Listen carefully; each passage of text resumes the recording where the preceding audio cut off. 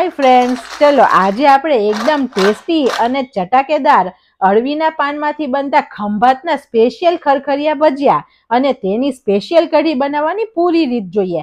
આ જ રીતે ઘરે બનાવજો અને વીડિયો પસંદ આવે તો રૂપલ્સ ટેસ્ટી ટ્રીટ્સને સબસ્ક્રાઇબ જરૂર કરજો. Happy cooking enjoy eating bhajiya બનાવવા માટે ત્રણ મોટા અળવીના પાન લીધા છે. ફ્રેન્ડ્સ આપણે જ્યારે બજારમાંથી પાન લાવીએ ત્યારે જોવાનું કે દાંડી છે તે પર્પલ કલરની હોવી જોઈએ. જો ગ્રીન કલરની દાંડી હશે ને તો ગળામાં ખાતી વખતે ખરાશ લાગશે. પાનને આપણે સરખા ધોઈ લેવાના, કેમ કે તેમાં માટીનો ભાગ ઘણો વધારે હોય અને આ જે પાછળનો ભાગ હોય છે ને ફ્રેન્ડ્સ તેમાં માટી ભરાયેલી હોય તો તેને પણ સરખો વોશ કરવાનો. આવી રીતે બે વખત આપણે પાનને વોશ કરીશું. હવે આપણે આ ધોયેલા પાનને સરખા લૂછી લઈએ. કોઈ પણ કોટનનું કપડું હોય તે આવી રીતે નીચે પણ આવે અને ઉપરથી લૂછી શકાય તેવી રીતે કરવાનું, જેથી પાન બંને જગ્યાએથી સરસ કોરા થઈ જાય. હવે આપણે પાનની જાડી નસને કાઢી લઈએ. આપણે નસની બાજુમાંથી આવી રીતે કટ આપવાનો. બંને સાઈડથી જેથી જે બહુ જાડી નસ છે તે નીકળી જશે.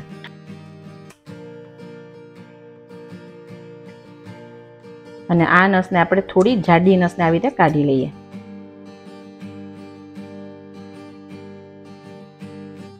આ બાકીની બધી નસ આપણે રેવા દઈશું. એક પાનને બીજા પાન ઉપર રાખીએ અને તેના આવી રીતે ટુકડા કરીએ. થોડા મોટા ટુકડા કરવાના છે.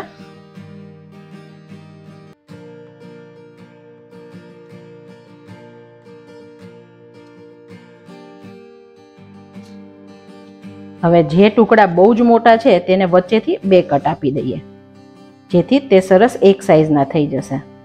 હવે આપણે ખરખરિયા ભજીયા માટેનું બેટર બનાવીએ. આ ભજીયા ખંભાતમાં ખૂબ જ પ્રખ્યાત છે ફ્રેન્ડ્સ અને આ ભજીયા જ્યારે બનાવીએ અને જ્યારે થાળીમાં લઈએ ને, તો તેનો ખડખડ અવાજ આવે છે. તેથી તેનું નામ ખરખરિયા ભજીયા પડ્યું છે. હવે આ ભજીયામાં જો પરફેક્ટ માપ નહીં હોય ને, તો ક્યારેય આ ભજીયા સરસ નહીં બને. તો આપણે હવે જોઈશે પરફેક્ટ માપ. તો અડધો કપ ચણાનો લોટ લીધો છે અને વન ફોર્થ કપ, એટલે કે ચણાના લોટથી અડધો ચોખાનો લોટ લીધો છે. બંને લોટને આપણે ચાળી લઈએ. જેથી આપણે બેટર બનાવીએ, ત્યારે બિલકુલ લમ્સ ના બને. હવે ભજીયા આસાનીથી પચે, તેની માટે આપણે વન ફોર્થ ચમચી જેટલો અજમો એડ કરીએ. અજમાની ફ્લેવર સરસ લાગે છે અને પચવામાં પણ ફ્રેન્ડ્સ ખૂબ સરળતા રહે છે. એક પિંચ જેટલું લાલ મરચું એડ કરીએ. એક પિંચ હિંગ એડ કરીએ. અને વન ફોર્થ ટીએસપી જેટલું મીઠું એડ કરીએ. પછી આપણને પાછળથી જરૂર લાગશે તો ટેસ્ટ કરીને એડ કરી શકીશું. બધું આપણે એકવાર મિક્સ કરી દઈએ. અત્યારે મેં એક કપ પાણી લીધું છે. બેટર બનાવીને હું તમને લાસ્ટમાં કહું કે મેં કેટલું પાણી વાપર્યું. ચણાના લોટમાં ક્યારેય એક સામટું આપણે પાણી નાખીને બેટર નહીં બનાવવાનું. બે ત્રણ ચમચી, બે ત્રણ ચમચી પાણી ઉમેરી અને પછી આપણે હલાવતા જવાનું. જેથી લમ્સ વગરનું સરસ બેટર તૈયાર થાય. બહુ વધારે પાણી હોય ને તો બેટર ઢીલું પણ થઈ જાય અને બહુ લમ્સ પડે. આ બેટરને આપણે જેવું બટેટાવાળાનું ફ્રેન્ડ્સ બેટર હોય ને કે બટેકાની પતરીના ભજીયા તેવું કોટ થાય તેવું બેટર બનાવવાનું છે. એકદમ પતલું બેટર નથી બનાવવાનું. તમે જુઓ, એકદમ સરસ લમ્સ વગરનું બેટર રેડી થાય છે. પણ હજુ બહુ જ વધારે થીક છે.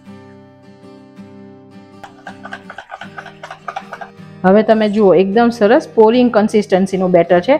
એકદમ સરસ રિબિન જેવું પડી અને અંદર શેપ લે છે.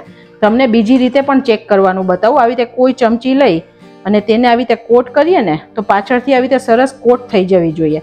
જો, બેટર બિલકુલ ભેગું નથી થતું, તો અત્યારે આ પરફેક્ટ કન્સિસ્ટન્સી છે. બેટર બનાવવા માટે અત્યારે મારે પોણો કપ પાણીની જરૂર પડી છે.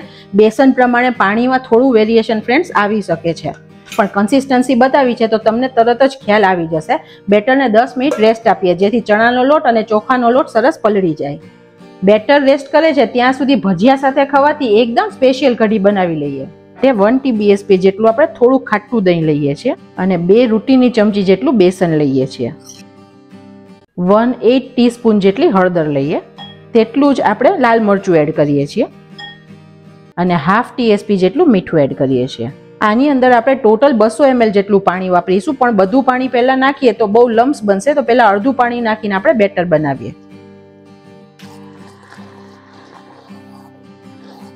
હવે બાકીનું બધું પાણી એડ કરી દઈએ.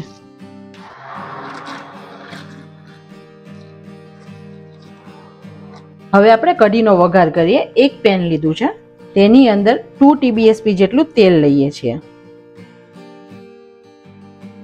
ગેસની ફ્લેમ એકદમ સ્લો રાખીએ છીએ.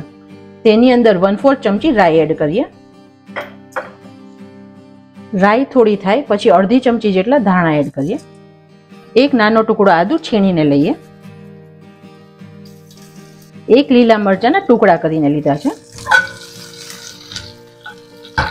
એક સૂકું લાલ મરચું છે, જેના પણ બે ટુકડા કરીએ. સાતથી આઠ લીમડાના પાન લઈએ.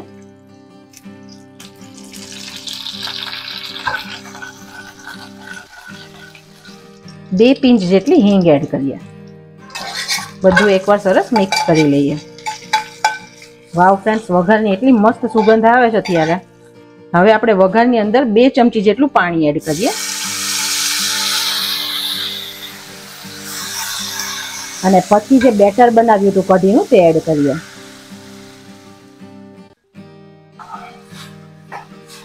કઢી અત્યારે થોડી થીક જ છે કન્સિસ્ટન્સીમાં અને આને આપણે થીક રાખવાની છે. પણ આને પાંચ મિનિટ ઉકાળવાની છે. હજુ ઉકળશે તો વધારે થીક થઈ જશે. તો આપણે બીજું અડધી વાટકી જેટલું પાણી એડ કરીએ. કઢીના સ્વાદને બેલેન્સ કરવા માટે બે ચમચી જેટલી ખાંડ એડ કરીએ. અને બધું પાંચ મિનિટ સરસ ઉકળવા દઈએ, જેથી બેસન ચડી જશે અને કઢી આપણી સરસ થીક થઈ જશે. ફ્રેન્ડ્સ આ કઢી જે ફરસાણની દુકાને ખાઈએ છીએ ને, તેવા જ ટેસ્ટવાળી તૈયાર થશે. તમે જુઓ, ત્રણથી ચાર જ મિનિટ કઢી ઉકળી છે અને સરસ ઘટ પણ થતી આવે છે. આ ટાઈમે ફ્રેન્ડ્સ તમે ટેસ્ટ કરો, ત્યારે જો તમારું દહીં ખાટું નહીં હોય ને, તો કઢીમાં ખટાશ નહીં આવે. તો તમે પાછળથી એક ચમચી જેટલો લીંબુનો રસ એડ કરી શકો છો. આપણી કઢી એકદમ સરસ ઉકળી ગઈ છે. આપણે ગેસની ફ્લેમ બંધ કરીએ છીએ. બેટરને રેસ્ટ કરીએ, દસ મિનિટ થઈ ગઈ. આપણે હલાવીને ચેક પણ કરીએ. કન્સિસ્ટન્સી જો ઘાટી લાગે તો આપણે બે ચમચી જેટલું પાણી એડ કરીએ. અત્યારે થોડું થીક છે, તો હું એક ચમચી જેટલું પાણી એડ કરું છું.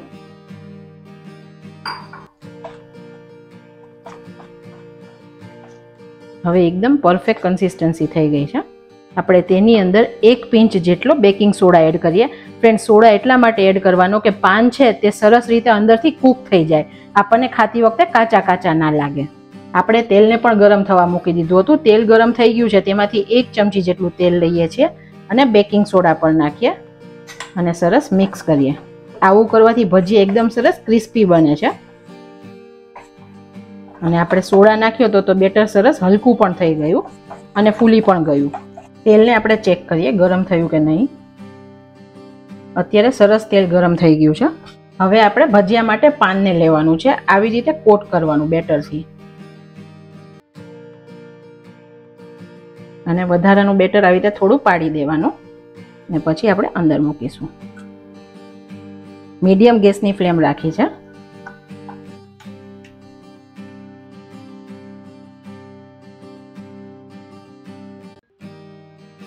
તમે જુઓ, એકદમ મસ્ત ફૂલીને દડા જેવું તૈયાર થયું છે ફ્રેન્ડ્સ એકદમ મસ્ત ફૂલ્યું છે. બધા ભજીયા તમે જુઓ, સેજ સેજ આપણે આમ દબાવવાના, જેથી સરસ કડક તૈયાર થશે અને ગોલ્ડન કલર જેવા કરવાના.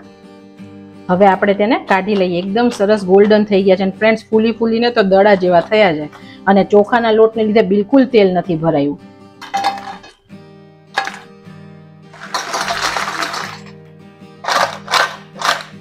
ફ્રેન્ડ્સ કેટલો મસ્ત ખરખર અવાજ આવે છે.